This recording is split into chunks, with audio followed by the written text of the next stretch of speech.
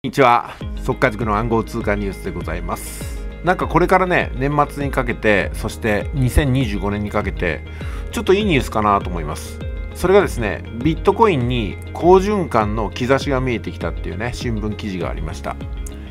どんな内容かというとね字がちっちゃいんで要約しますとビットコイン価格が上昇してきていると、えー、アメリカの利下げがあ金利がつかないビットコインの追い風になっているという側面もある。それから米政府の規制強化への警戒が弱まってきたということですね。で新たな暗号通貨なりアルトコインを生み出すマイニングも活発化していて先見感はね高まっているということでございます、えー、あのトランプ大統領もね、えー、ビットコインのカンファレンスに出場するなどあの暗号通貨関係の規制の緩和に前向きなんではないかなというふうに、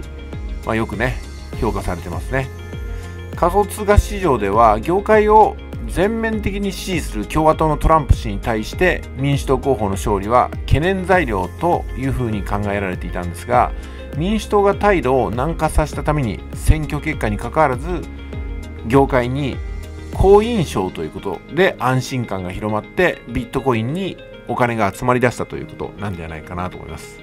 今後ですねビットコインや暗号通貨に資金が流れ込んでいく可能性が非常に高いなというふうなニュースでした。